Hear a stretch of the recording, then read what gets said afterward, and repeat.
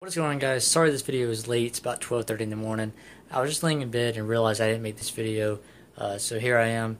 The other day I made a video talking about Optic Nadeshot maybe coming back to competitive Call of Duty and teaming with JKap and Clayster. I showed you the guys, showed you guys the tweet um, in the previous video, and today he made a video talking about uh, where he's been, why hasn't he been posting videos, and he announced that he will be teaming with JKap and Clayster for UMG Cali, and they are still looking for their fourth.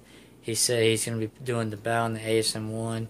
He says there's really no reason why they can't place at least top three if they could even win.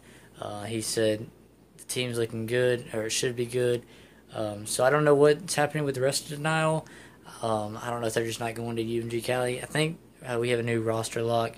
I think they can change rosters after um, Gfinity. I'm not sure.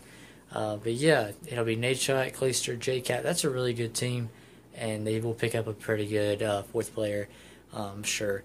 So I just made this quick video, guys, let you know that the um, the tweet that he sent out was pretty much accurate. He confirmed it today in his video, and uh, we all called it. Uh, so hopefully Nadeshot can win. Maybe he'll come back to competitive Call of Duty. I'm sure he's going to come back for Black Ops 3. Uh, he just probably is done with Advanced Warfare. He just wants to have some fun. He's got a girl now, uh, so you know how that is. But yeah, I just made this quick video, let you guys know what was up. Uh, if you like this video, hit the thumbs up button, subscribe for more. See you guys in the next video. Peace.